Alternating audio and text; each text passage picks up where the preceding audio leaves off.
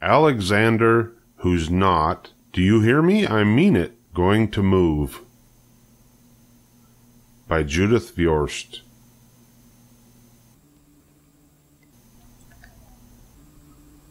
They can't make me pack my baseball mitt, or my I Love Dinosaurs sweatshirt, or my cowboy boots. They can't make me pack my ice skates, my jeans with eight zippers, my compass, my radio, or my stuffed pig. My dad is packing, my mom is packing, my brothers Nick and Anthony are packing. I'm not packing. I'm not going to move. My dad says we have to move where his new job is. That job is a thousand miles away. My mom says we have to move where our new house is. That house is a thousand miles away. Right next door to the new house, there's a boy who is Anthony's age. Down the street, there's a boy the same age as Nick. There's no one next door or down the street, or maybe for a thousand miles, who is my age. I'm not, do you hear me? I mean it, going to move. I'll never have a best friend like Paul again. I'll never have a great sitter like Rachel again. I'll never have my soccer team or my carpool again. I'll never have kids who know me except my brothers, and sometimes they don't want to know me. I'm not packing, I'm not going to move. Nick says I'm a fool and I should get a brain transplant. Anthony says I'm being immature. My mom and my dad say that after a while I'll get used to living a thousand miles from everything. Never, not ever, no way, uh-uh, N-O. I maybe could stay here and live with the Baldwins. They've got a dog. I always wanted a dog. I maybe could stay here and live with the Rooneys. They've got six girls. They always wanted one boy. I maybe could stay here and live with Mr. and Mrs. Oberdorfer. They always give great treats on Halloween. I maybe could stay here and live by myself and maybe a treehouse, or maybe a tent, or maybe a cave.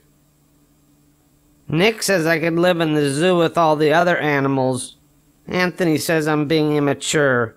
My dad says I should take a last look at all my special places. I'm taking a look, but it won't be my last.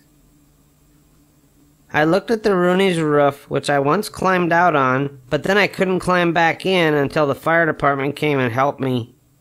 I looked at Pearson's drugstore, where they once said my mom had to pay them $80 when I threw a ball in the air that I almost caught. I looked at the lot next to Albert's house, where I once and for all learned to tell which was poison ivy. I looked at my school, where even Miss Noop, the teacher I once spilled the goldfish bowl on, said she'd miss me. I looked at my special places where a lot of different things happened. Not just different bad, but different good. Like winning that sack race. Like finding that flashlight. Like spitting further than Jack three times in a row. Like selling so much lemonade that my dad said I would probably have to pay taxes. My dad said he was making jokes about paying taxes.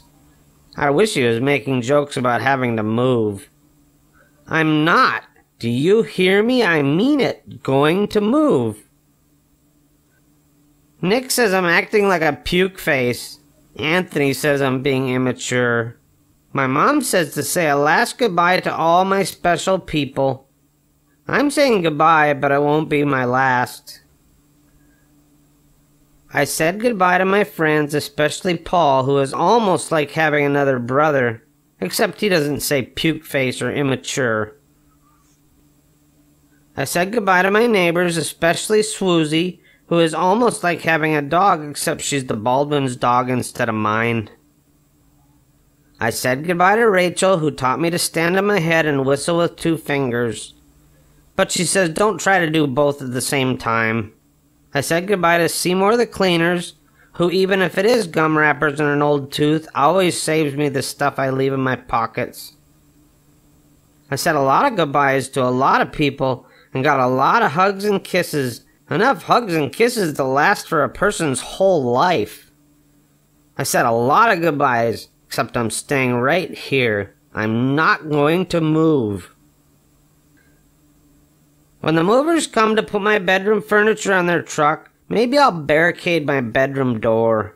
When my dad wants to tie my bicycle to the roof rack on top of the station wagon, maybe I'll lock up my bike and bury the key.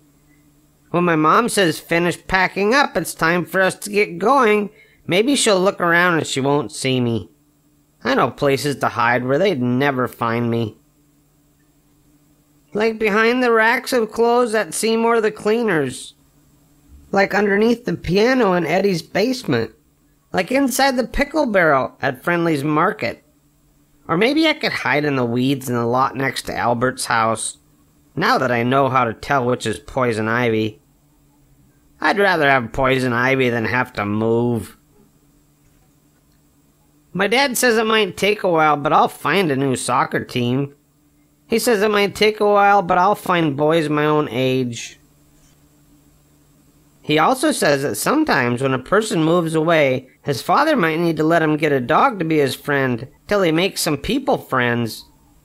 I think that Swoozy 2 would be a good name. My mom says it might take a while, but we'll find a great sitter. She says it might take a while, but we'll find a cleaners who even saves gum wrappers and old teeth. She also says that sometimes when a person moves away, his mother might let him call his best friend long distance. I already know the telephone number by heart. Paul gave me a baseball cap. Rachel gave me a backpack that glows in the dark. Mr. and Mrs. Oberdorfer gave us treats to eat for a thousand miles. Nick says if I'm lonesome in my new room all by myself, he might let me sleep with him for a little while. Anthony says that Nick is being mature. My dad is packing, my mom is packing. My brothers Nick and Anthony are packing. I don't like it, but I'm packing too. They better not try to move anymore when we get where we're going to go. Because this is the last time I'll do it.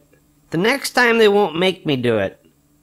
Never, not ever, no way, uh-uh, and oh.